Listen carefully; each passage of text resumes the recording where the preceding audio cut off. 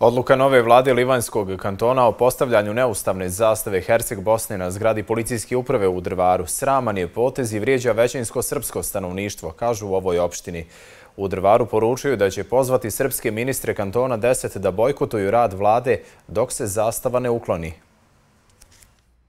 Zastavu Herceg Bosne koja je postavljena na Drvarsku policijsku upravu, Ustavni sud Federacije BiH proglasio je neustavnom još 1998. godine.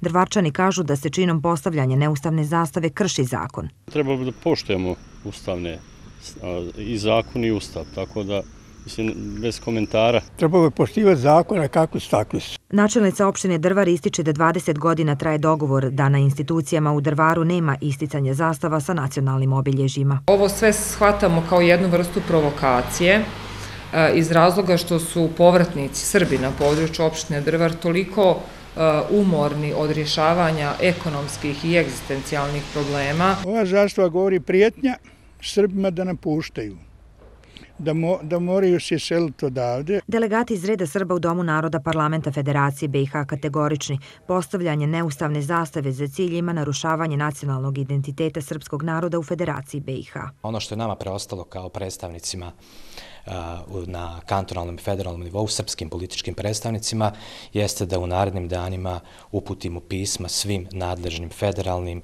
državnim i međunarodnim institucijama kako bi se ta zastava uklonila. Također ćemo pozvati predsjednika kluba Srba u Skupštini kantona 10 da sazove sjednicu kluba Srba na kojoj bismo donijeli zaključke, a između ostalih e, oni bi se odnosili na bojkot naših ministara iz reda srpskog naroda i bojkot ako treba i nas poslanika kako bismo pokazali ministru MUPA, gospodinu Lovriću, da ne može baš na takav način da, da se odnosi prema srpskom e, narodu. Na naše pitanje na osnovu koje odluke je postavljena neustavna zastava na policijskoj upravi u Drvaru iz MUPA kantona 10 do realizacije priloga nismo dobili odgovor.